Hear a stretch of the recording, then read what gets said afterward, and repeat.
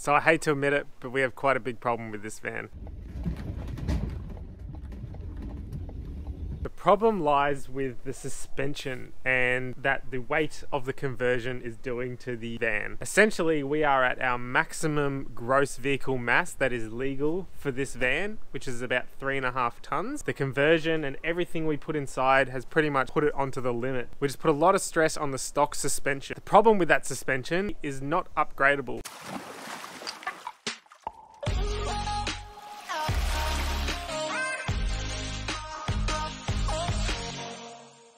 All right, let me show you what I mean. If we come under the van,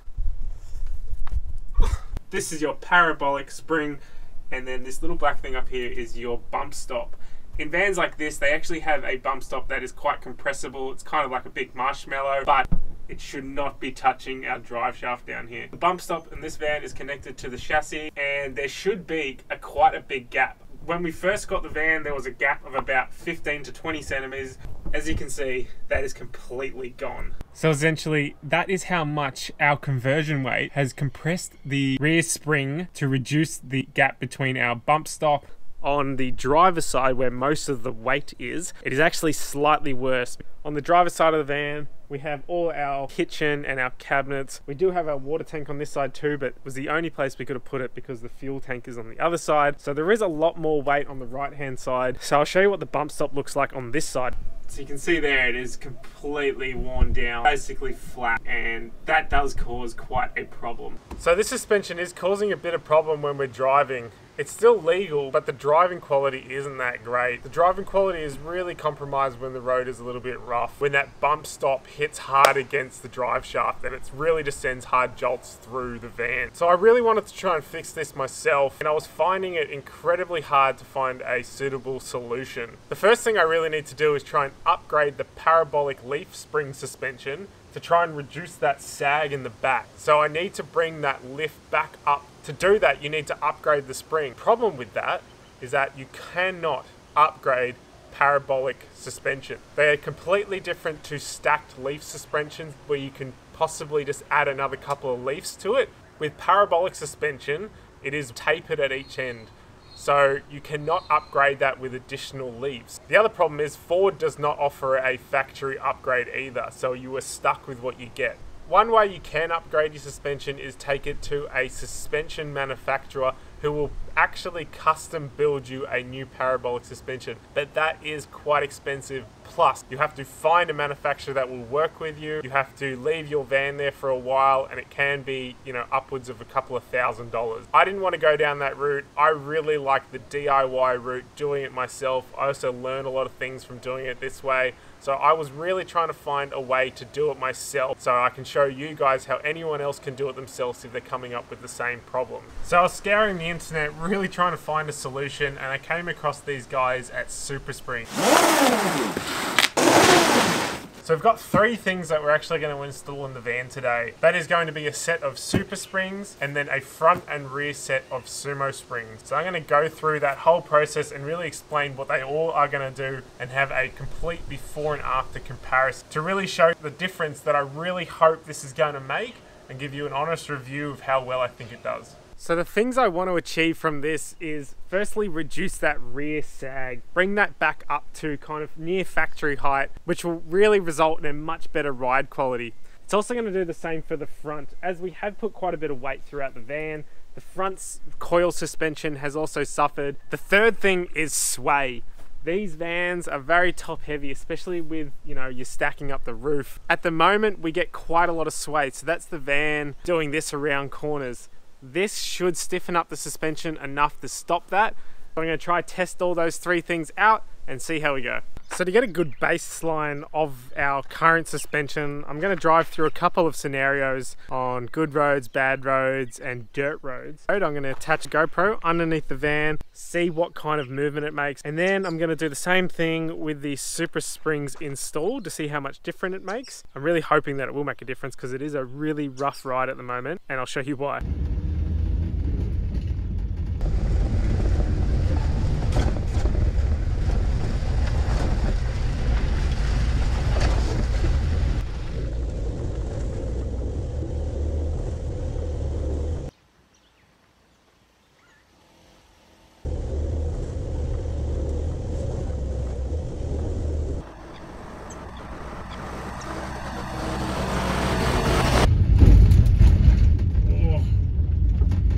feel every single one of those bumps when I can see on my camera that the bump stop is just hitting straight up against the chassis with no suspension at all.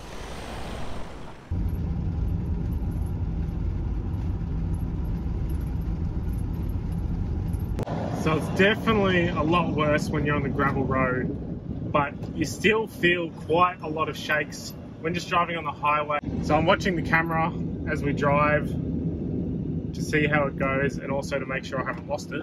But the bumps are amplified significantly when you hit one at high speed.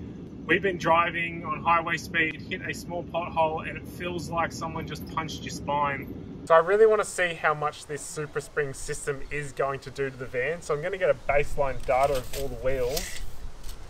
So from the floor to the top of the wheel well is 830 mils. To this height is my measurement. Hopefully we're going to increase this space on all four tires. 800 millimeters, 790 mils, 795. So the only tools you really need to do this installation are socket set, a jack, C-clamps, some jack stands. And I didn't have any of this and because I like doing it all myself, I just went and rented these from the local hire shop. It cost me $35 for the whole weekend.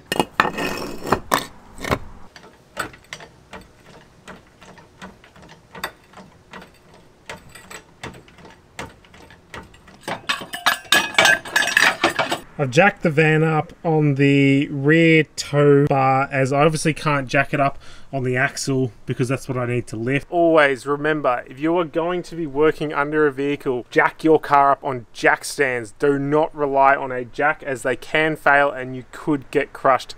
That is the last thing you want for anyone's safety. If you're going to be doing anything like this, remember to jack your car up with jack stands.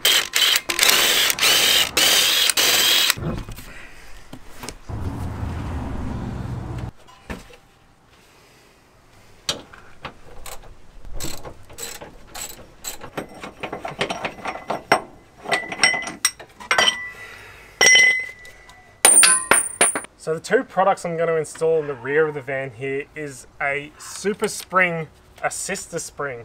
So this is a spring that just helps your factory parabolic spring. Has these rollers built in so it evenly distributes the weight when the spring is going up and down. It's kind of a floating spring per se. It doesn't really clamp straight onto the factory spring. The second is an upgrade on the bump stop. This is the original bump stop I just pulled out and this is the Sumo spring so you can see the difference. They designed it out of this super strong material that has a super high compressive strength. This just bolts straight onto where this came out of so that's like a two second fix. Same with the super spring, it's only two bolts and that's the whole thing. Oh, this is the Sumo spring. All it is is the Sumo spring itself, a flat washer and then a spacer. I'll also apply the locking thread liquid onto the thread Okay, this is the Sumo spring installed. You can see the difference between the standard and the upgrade. So when the steel super spring is on and this van is lowered again, they recommend that this is about an inch to a half an inch off this plate, which is connected to the drive shaft. So I'll attach this, put the wheel back on, and then lower it and then see where we sit and we might have to either add or reduce the spacer up the top here. So the installation of the spring itself is actually so simple. It's marked out pretty much foolproof. Passenger front side, do not touch this bolt. It has all the stickers on there so you can't stuff it up. All there is is there's two of these rollers so you just undo the nut on one side and we're just going to attach it on and see if we can get the rollers to go in the hole. I think we're going to aim for the middle hole and see how we go. So the middle hole in this one as well, give it a bit more firmness. And to do that, I'm probably gonna have to clamp one side down and then clamp the other side down with these C-clamps.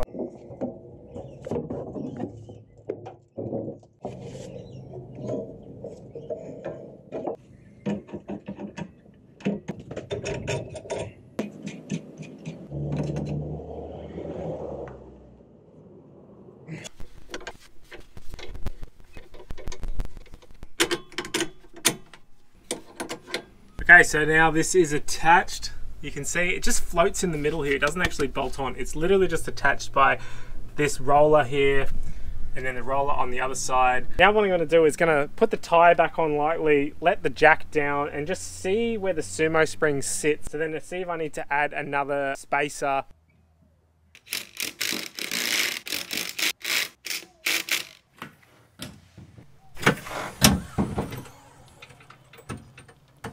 Okay, so I think that is exactly where we want it. Just do the other side and then we'll move on to the front sumo springs. For comparison, this is the sumo spring and this is the size of the factory spring. This one is even smaller because it's been so heavily compressed. So that's going to make a massive difference on this side. And this is obviously just destroyed from the overuse of it. They're not really designed to be ridden permanently on the bump stops, unlike these things much better option. So the second spring and sumo spring are in there now.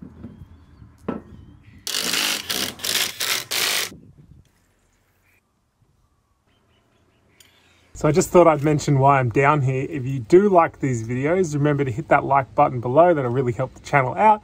And if you want to see more like this, remember to subscribe. So I also wanted to remind you about the new website, saltyvanventures.com and our new exciting van consulting service from absolute beginners. They can learn how to convert their van. I'll walk you through the process. It's also a platform where you can find all the resources I use to build this van. So the plumbing diagram, electrical diagram, all the stuff we bought for the van. You can find it there at saltyvanventures.com.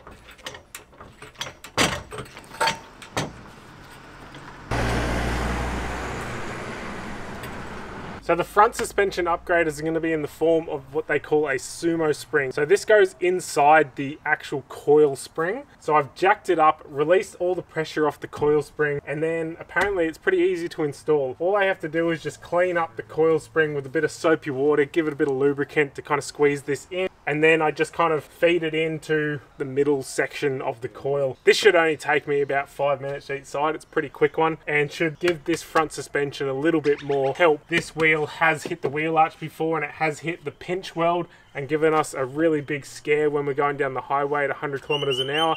So this will definitely help stop that from happening. There is a deeper groove and a shallower groove. Apparently the deeper groove needs to be on the bottom.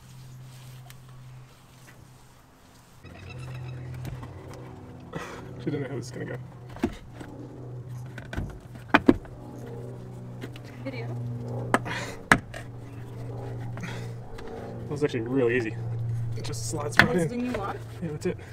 That took me about two minutes. I'm pretty happy with that. So I'll do the other side, lower it down, and we'll measure all four tyres and see how much we've gained. It's the first time we've been in the car now. The first thing is going to be getting over this driveway because we actually have quite a steep little driveway here. It's always like gives heaps of body roll when we go over it. Oh wow. It's body roll. It's definitely better, much stiffer, less roll. And also corner. the bounce back wasn't really there. Yeah, because it's normally like a whip when we yeah. go over the first time. Yeah. Uh, it definitely feels like we're riding higher now. Speed bumps have always been particularly nasty. It was always at the arse end of the speed bump when it's coming off. We'd always bottom out on the bump stops and then you get this bounce back. So here's a speed bump to see what's going to happen.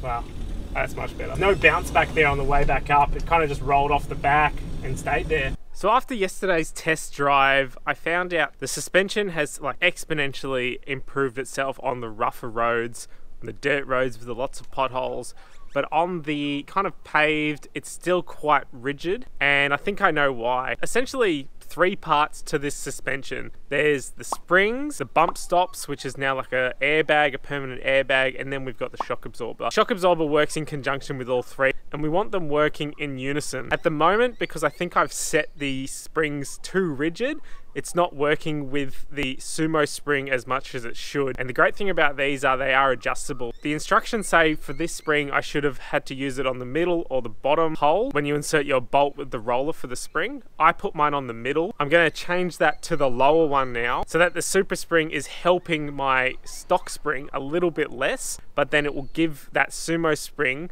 a lot more action which will then cushion my ride. There is a happy medium that you are looking for. You don't want it too rigid. That's like a sports car where you feel every bump, but then you obviously want to have a comfortable ride where it takes a lot of those bumps and shocks out so you're not feeling everything on the road.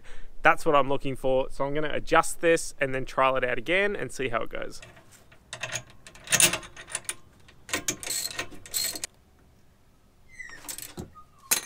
Oh yes, this is so much better. I can already feel it. It is just way smoother. I'm keeping an eye what the actual suspension is doing. And it's basically much more in harmony now, the two suspension systems. I can see that before the sumo spring was kind of sitting above the drive shaft when we were just driving normally. So most of the bumps were being dealt with by the spring, which I suppose usually that's what you'd want but this system allows you to have kind of two suspension systems and I can already tell just by lowering that one bolt on the super spring it's made a massive difference. It feels really smooth going over these bumps now. There's no big jarriness like I had yesterday when I kind of probably had the suspension a little bit too tight, but I also feel like I'm not bouncing around like crazy like I was before I did the upgrade where it was really, really bouncy. It was relying all on the spring, completely under compression, and the factory bump stop was riding straight on top of the drive shaft, which is what they're not designed for unlike the sumo spring. Initial reaction's very good. I'm going to take it on the dirt road and see what difference it makes there.